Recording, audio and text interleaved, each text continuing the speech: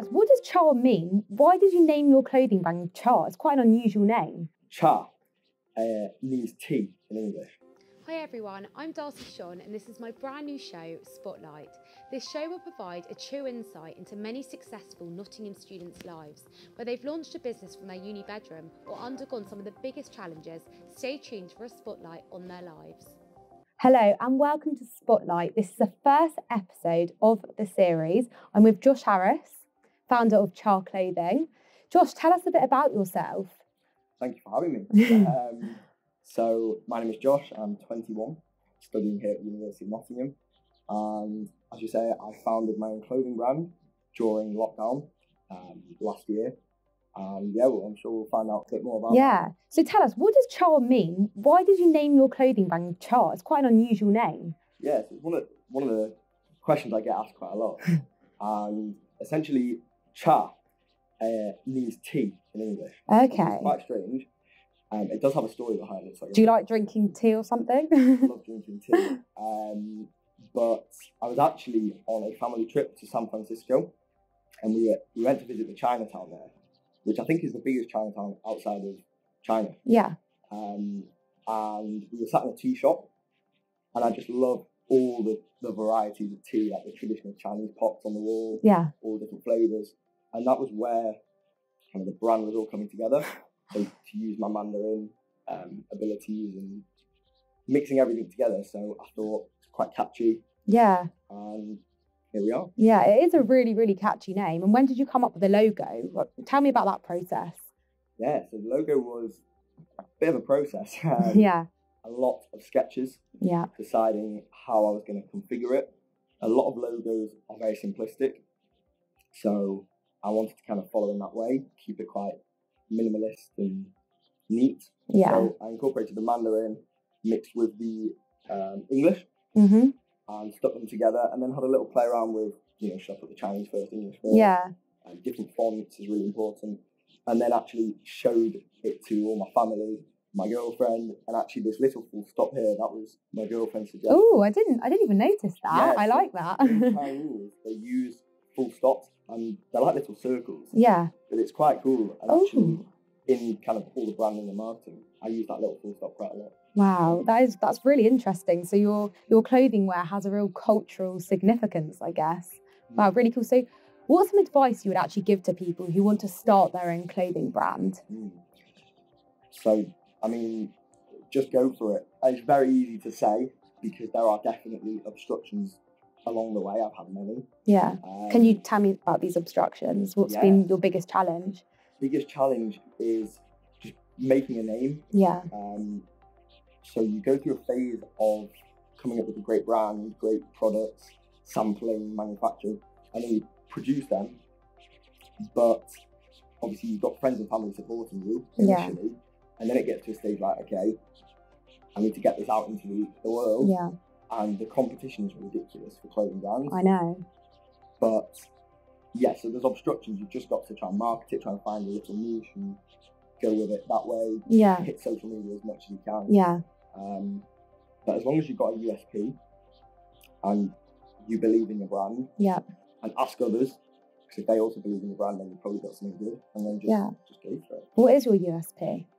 So the main one I think is kind of themed around Mandarin. yeah. The biggest USP I would say, because having studied it for about seven years now. Oh, so do you speak Mandarin? Yeah. I didn't know that. You kept that very quiet. Yeah, so I actually just came from a Chinese class. No way. So the Mandarin, or just having a passion for the language and the culture, yeah. I think representing that for the brand is probably the biggest USP. hmm I think it's not many people have that. Yeah. And then a few other smaller USPs is kind of our sustainability, conscience, Okay. and obviously the play on tea. And each garment is its own unique design. Yeah. only release a certain amount of stock on each one, Mm-hmm. so that that idea of fast fashion is Yeah. kind of- Eradicated. yeah, exactly. Yeah. We don't- We don't want that. Um, and another one of the USPs I think is it's very personal. Yeah. So all the orders are fulfilled by myself. Well, actually, some of my family are helping out with that at the minute whilst I'm here at uni. I love that. It's a real family Yeah. network helping Um, you. Just like handwritten notes, just Yeah. communicating with the audience a lot. Yeah. So you mentioned social media. Mm. What has been your main social media channel and what has been most useful social media channel to help really get your brand out there? Yeah. Mm. I mean, TikTok Yeah. has been huge. I think a lot of people know that that was like a lockdown hit. Everyone jumped on there. A lot of people just started scrolling, hmm and then a lot of people started making. And I was one of those that just downloaded it for a bit of fun. Yeah. Beginning of lockdown, and I said, "Uh, you know, there's no way I'm going to start making videos. Ended up starting to make some videos with my girlfriend, just some jokes videos, and a few of them started to hit big views. Started building up a little bit of a following. Then clothing came, so I thought, got a few followers on there. And maybe I'll jump onto the um, onto TikTok with the clothes. And since then, just been trying to be consistent, Yeah. growing followers. So that's been massive. Instagram's a bit more formal, Okay. Yeah. but great for branding. hmm I think when people look at your feed, they can really just see straight away. So for me, the aesthetic's quite big. Yeah. So a lot of leaves, a lot of simplistic aesthetic, like Chinese language, um, and I think that's displayed quite quite nicely through Instagram. Uh, and obviously, they all direct people to the website, which is the most important. Yeah, definitely. And how do you go about editing your Instagram posts? Well, like for someone that wants to start their own Yeah. business, is there any apps or any any like any sort of software which you've used which has really helped you along the way to help edit your videos or help you create really good Instagram posts? So a huge one, which like has been the whole brand, is Wix. Okay. Yeah. the website software or platform where you can basically build your whole website, and it takes care of so many behind the scenes bits Yes. that I just wouldn't have been able to do Yeah. without it. So, for example, all the order fulfillment, you know, sending confirmation emails, tracking expenses, finances, automations, so many things. Yeah. And also building the actual site, which I've done myself, which I, I can't build a site other than through Wix, has been huge. I believe Shopify is also very good, Yeah. which is kind of the alternative. But then in terms of content and social media, I would say Canva. Oh yeah, I use Canva. Canva is yeah. great, so so good. You can make presentations, you can make Instagram stories, posts. Um, I actually use use it to so take a load of photos, videos, put it on Canva, edit it, and then use it on the website Yeah. as well. So It's good for making logos, isn't it? yeah, yeah, Yeah. Great for logos as well. I think I actually made the logo on there Yeah. or played around with the logo. So it sounds like you're doing so much. You're designing things. You're, I don't know, you're getting your garments out there. How do you have time for all of this? You're a university student. I mean, Yeah. I find it hard to balance everything. Just Mhm. tell me, how do you actually balance your work and Cha clothing? Yeah, um, it's hard. It's very hard. I think one way I'm balancing it quite nicely this year is that studying liberal arts, which Yeah. I do here, the module choice is very flexible. okay. So at uni, I'm actually studying a third of Mandarin, a third of business, and then I've got some core modules. Yeah. So it all kind of fits together. Okay. And I, because I love the clothes so much, I always find like an angle in university work that I can apply to my clothes, Yeah. whether that's the Chinese or the business. Okay. Um, but in terms of time, I just, I just find the time. I don't know Yeah. because, because I'm so passionate about the clothes. I think I can get back from a long day of uni You and I can still yeah. just sit down and enjoy, you know, designing or contacting Yeah. or audience. anything like that. Definitely. And what about chat? Like, I know we spoke about challenges. What has anything really drastic happened, which has I don't know, put a bit of a foot foot in the works or anything? Anything which has gone wrong for you and something that you've learned from that? Yeah, there's a few things that go wrong. There's also some great moments that have been like, wow, that's Yeah. unbelievable, which I can speak about after. Um, but in terms of big problems, I mean, one that was bad was a manufacturing fault Okay. that I was told the product had been washed and tested. Mm-hmm. So normally the in the production line it will go through obviously production of the garment, then the print, Yeah. embroideries, and then normally like a wash test. and I was told that I had finished the test and I'd done all the marketing, launched this amazing product, and there was a fault. Oh no. When the customers had the product, basically the print just ran through the garment. Okay. Yeah. So that was a big problem, um, which resulted in a lot of refunds quite quickly. Um, you know, I didn't even, I didn't have a leg to stand on really. Obviously, I took it up with the manufacturers because it wasn't great at all. Yeah. Uh, I managed to sort it, but I think, yeah, I wash test the product myself now, Yeah. just to be sure before Yeah. And when, so do you actually prefer just to do everything yourself? Do you get a bit, because it is obviously your brand and your company, do you get worried about distributing things to other people, assigning tasks to people? Is that something that you just hate doing? Because I know you seem like you like to control things. You seem like Yeah. you like to really make sure every product is perfect. So is that something that you struggle with? So I, love to be in control. Yeah. it. It's you know, it's something I've just seen grow throughout the last year. It's actually a year tomorrow.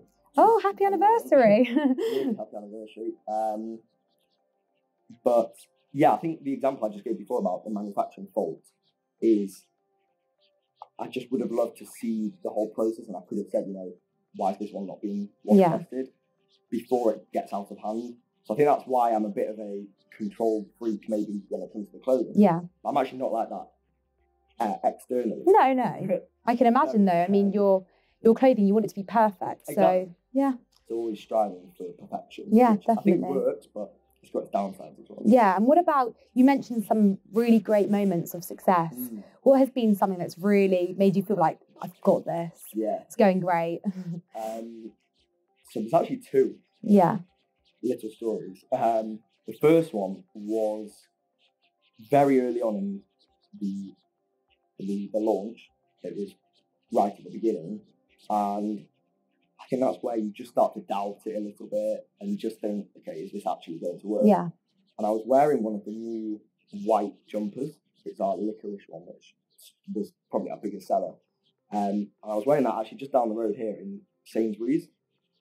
And a random guy that I'd never seen before, a massive guy, just came up to me he just said, I love your jumper, where's it from? Oh, that's such a nice feeling. And I just, I literally froze. I don't even know if I replied to him in the end. I was, I was so shocked because at that stage it was like all so, you know, is this going to work? What Yeah. can I be doing? You know, even just wearing your own product. And I was just like, okay, I've got this now. And that was like a real motivator to just yeah. get on with it, carry on. Small moments like that Yeah, really make a difference. um, And like customer feedback, I guess. Huge. Yeah, it makes Yeah. you feel good. Yeah. sure. And I think another one, which was quite recently, which was crazy. So I was actually in the gym. Yeah. uh, with some of my mates, and just literally got an order come through. So it's all with Wix, it's all on the phone. Yeah. notified of everything. And it was some guy in France who Okay. ordered the whole collection, like the, like everything. Wow. And I was just like, you know, when you just do a double take, I was like, Yeah. hold on. So this is what ten months into the brand. I'm pretty much focusing on the UK, but I've got some guy in France that's just ordered the whole collection. And did you ship it all out to him? Yeah, so shipped it. Actually had to send him two boxes. Oh my gosh, that's really random. Yeah. Did you ever get to the bottom of that? Why did he want everything? So he actually messaged after to say, you must let me know when the, the few things out of stock come back in. 'cause I want them as well. Um, and again, it's one of those moments where I just took a minute Stunned. to actually, yeah, sink in. And then I just thought, okay, Yeah. clearly got something here. Yeah. Um, and to think that I'm, I say, impacting their lives by it. Uh, that No, but yeah, you are. Yeah. You know, delivering them quality clothes in so many different countries. Yeah. crazy. And what is your? You, you mentioned how that guy clearly love clearly loves your clothes. So. What is your um best selling item? What is your number one? Yeah, I mean, It's a hard question. That I know it is. in terms of numbers, I think I just mentioned the licorice. stuff. it's a white hoodie okay. with like a navy embroidery, and it's got some navy Chinese text Yeah. on the pocket actually. Um, that sold super well. I wasn't sure Wow. because white jumper, but that sold amazingly. Um, and I've got some of my favourite products which are also big Yeah. I'm hoping this one, which coming to Yeah, I really like that. Does it have matching tracksuit bottoms like joggers? No, no, no, no. Just a solo piece. Um, but this one's coming tomorrow. Yeah. I'm hoping. I mean, the, the demand's been very good for that, and you know, a lot of people signed up to the mailing list, stuff like Yeah. that. So I'm hoping this will be a big one. And just the loungewear as well, the socks, the shorts, Okay. t-shirts. Yeah. Can you just like speak us through because people that haven't seen Cha clothing, Yeah. can you speak us through from colours to what you actually have? You mentioned socks. I didn't even know mm. that. Like what garments do you sell? What colours does it come in? Tell me a bit more about your range. Yeah, for sure. So I think again going back to the USP thing, one thing I love is that each product is unique to itself. Okay. So I wouldn't do this design in a green or Oh. different colours, Yeah. basically. So I view each product as literally that in itself, Mm. which is named after a certain tea. So this is actually jasmine. Oh, I didn't know that. Oh, that is so Um, interesting. And so this will be a unique jasmine piece that basically you can only get in this colour, this, this embroidery, this exact Yeah. style. Um, so our original hoodie was chamomile, which is all about San Francisco and it's got some coordinates and it's got some photos that I actually took there. And yeah, so in terms of colours and stuff, it's it varies. Obviously, I've got to look at trends and Yeah. so going into more like a wintry time, I thought this would be quite suitable. Yeah. And actually, I got some feedback from Instagram followers on which colour to go for, Okay. and the royal blue was actually the number one Really? for this time of year. Yeah.